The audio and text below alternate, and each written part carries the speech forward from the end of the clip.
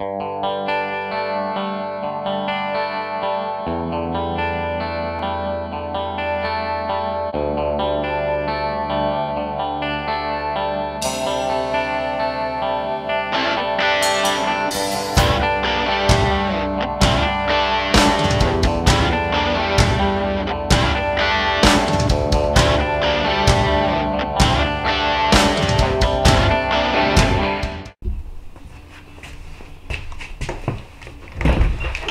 So this is the part after reading the, uh, I read these instructions the other day, but I remember there were some pieces in there.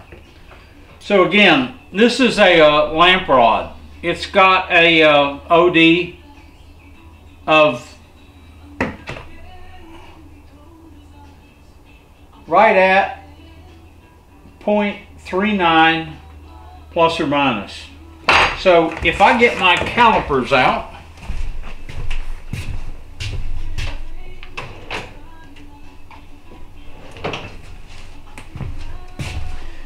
turn them on and measure it.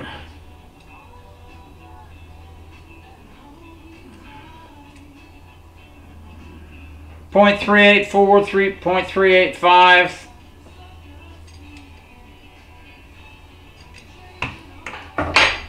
If I measure the inside diameter of the bearing, 0.37. So it's 0.01 difference in size. So what the instructions suggest you do, put the, you can do this by hand, but it's better to do it on a lathe. Put this in the lathe in a set of pin jaws. Put it out there and with a very, very fine tooth file, turn this rod and file down the teeth on this rod a little bit, a smidge, not much at all. Can't use a heavy hand. Got to use a light touch when you do this. Probably do it with sandpaper. I have a lot of grits of sandpaper. I'm not sure that I shouldn't just take a piece of sandpaper and do this. So this is uh, this is one of those items. It's kind of like fitting to the top and when you're making a box and you're going to fit the top, take off a little, take off a little, take off a little, take off a little, check it, check it, check it. So that's what I'm going to do. I'm going to put my chuck on with the small jaws on it or the pin jaws on it. Put this in it and take this down until I can get this. So that's what's next. After I do that, then I can into, get into making all of this. What I'm going to do is is basically ground that down. Just shouldn't say grind. Take this down just 0.01, just about. The nuts will still go on there. It should fit in the build, and it's a triple seal bearing. Nut should go in the bearing. Once they go into the, once it, it'll go into the bearing, put the nut on, put the other one on, and put the nut on the end. And then what we're going to do is basically glue it in place so that uh, it cuts down on any vacuum loss whatsoever. Uh, I don't know if it's going to be actually glued here or glued when it goes into the wood. I haven't read that far in the instructions. But this, this is going to be a, uh, a slow piece. It's kind of a long description of what's going to happen here, but uh, this is one of those parts whereby there's a lot of other ways you could do this. This I'm going to make this one based upon his suggestion uh, and what it will do and then I will judge from there whether I want to make a different type of vacuum vacuum chuck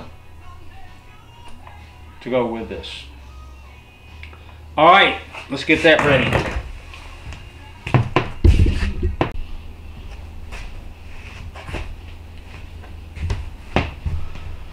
Okay, so uh, what we have is a set of pin jaws on my Nova chuck. I put in the uh, lamp rod the hollow lamp rod and I have it down here. And what I'm going to do is uh, I'm going to check to see where we're at on this. And right now I cannot get this on. I have a uh, a magnetized lamp on top of my Nova thing so I'm not going to lose the bearing. So let me get a file, a really fine file. All in all, this procedure took about 20-25 minutes to do. You take a triangular file with a, or a flat file with a very fine tooth on it and you lightly file down the threads that are on the lamp rod that is provided. Don't file them too far. It's just a trial and error type basis. You keep doing it. When you get it down there far enough so that the nut will go uh, that the bearing will fit over it, not the nut, the bearing will fit over it. Then you take the nut and you make sure that it still threads on. Uh, it it's just took a while for this to happen. I went very, very slowly. I wanted to make sure that I didn't mess the threads up and made the thing too fast. So I've, I've sped this up so such that you can see uh, basically what I did, you know, what I was doing with the file, wiping off the threads, checking the nut, uh, checking the bearing, checking the nut, doing the different steps that need to be to uh, have this done. Once I got it close, then I uh, just took small baby steps to uh, file this thing down.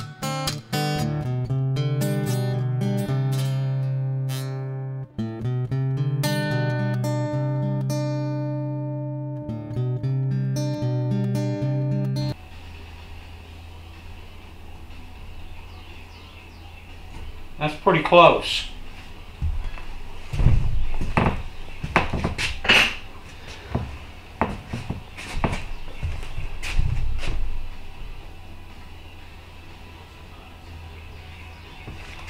going to come over here and uh, give you a shot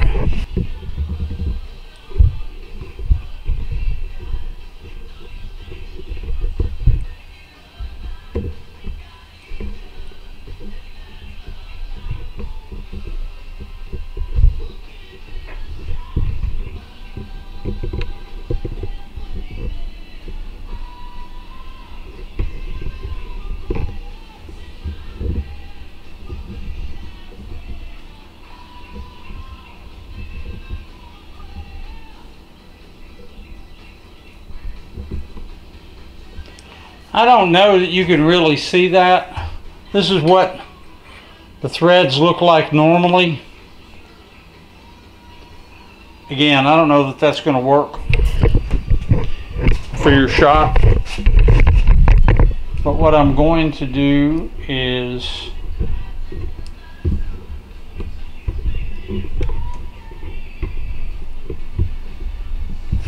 zoom in here.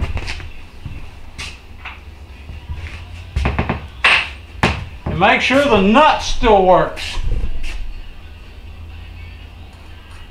And it does.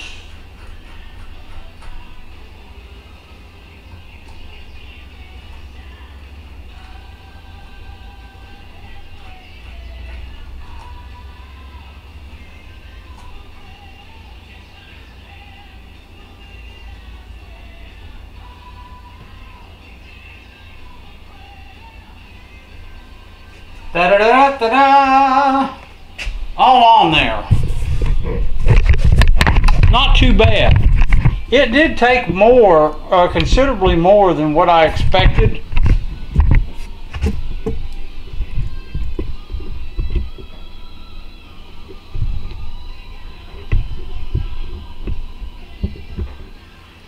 It took considerably more filing than what I expected to get that down, but the nuts went back on there fine, so I'm pretty happy with it. So I'm ready to go on to the next step. So let's go see what the instructions say and go from there. I think we're about ready to, to start working with the wood. Well, I sat here and jabbered to myself for a little while. So here's what the instructions say we were supposed to do. With lathe running at a reduced speed with a fine-tooth file, lightly file threads and reduced diameter of 64th of an inch so that the bearing slides on snugly and second nut can be screwed on. We did that. Now we got to do, take the nuts off, take the bearing off, and put on some Loctite, making sure that it doesn't get inside the bearing. Mm-hmm. Yeah, I'm going to be real good at that. Mix small quantity of Loctite thread lock and spread on ID of bearing and nuts. Assemble and tighten nuts. Let cure. Check to make sure sealant did not ooze out and get on bearing seal. Oh yeah, well that's easy enough to do. Let me see what the next steps are. Cup attachment methods. Faceplate, epoxy embedded nut, Beall threads, tenon or dovetail to fetch your jaw, your uh, four jaw chuck. Da da da da da da da da da. A, B, C, D. You can use your imagination. Let me see. Alright, so I used, uh, I have Loctite thread lock. So I took the bearing and the outer nut off, removed the uh, inner nut to some degree, put a little bit of Loctite on there, screwed it back on, centered it, that should work fine put the bearing on, everything's cool. Try to put just a little bit of uh, the red thread lock on the lamp rod. And got just a bit much on there but I, I got my rag and cleaned it up and put some on there put a little on the outside. I'm just kind of sitting here turning the bearing to make sure that it remains free. Everything seems to be fine I don't think I'm going to have any problem with it whatsoever.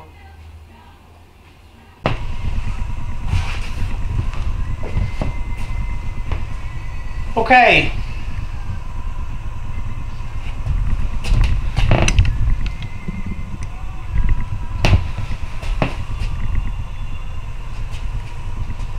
All right, back in the shop.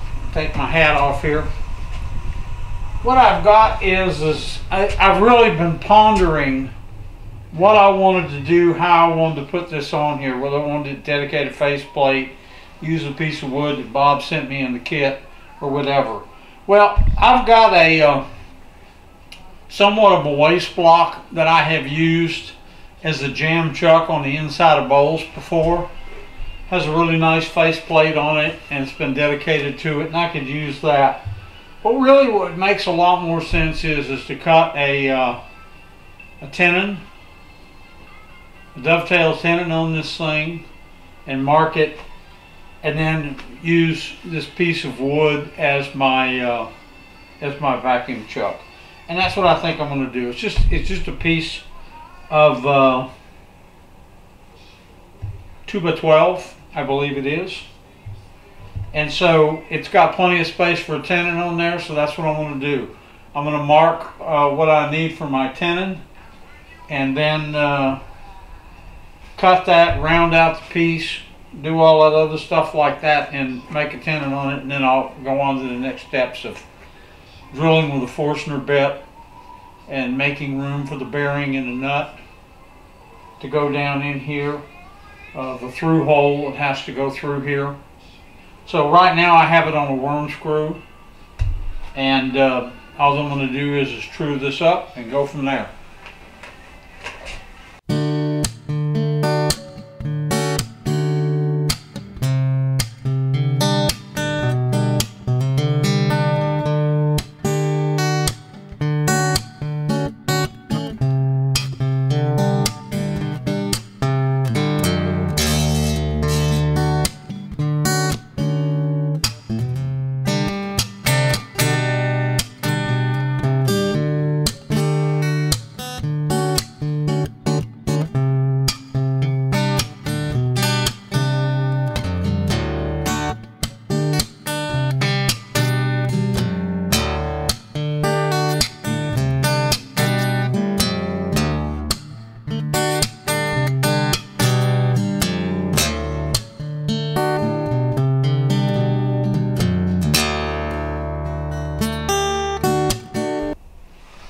Alright, so I got a 7 8 Forstner bit and a 3 quarter Forstner bit. The 7 8 Forstner bit matches the size of the bearing. And what I'm going to do is I'm going to put that in there to a depth of 9 30 seconds of an inch.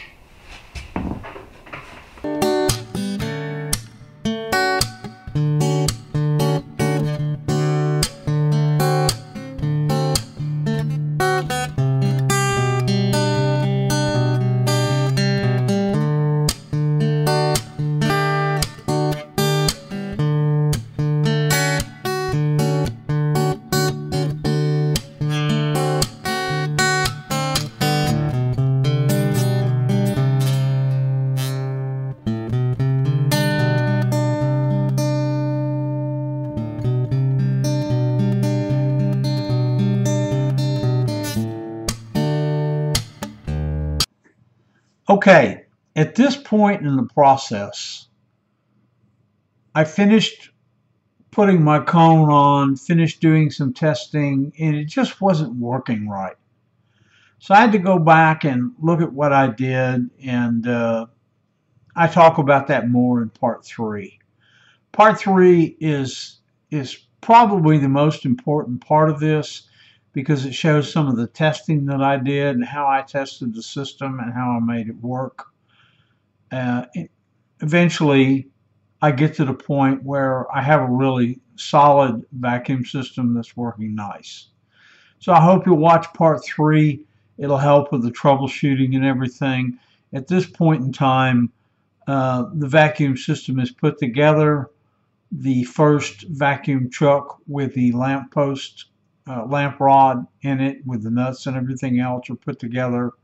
But uh, I, I didn't use the hot glue situation. I used it to do some testing, but I didn't use it in the production version. So I hope you'll stay tuned for part three and uh, it'll be beneficial to you. Thank you.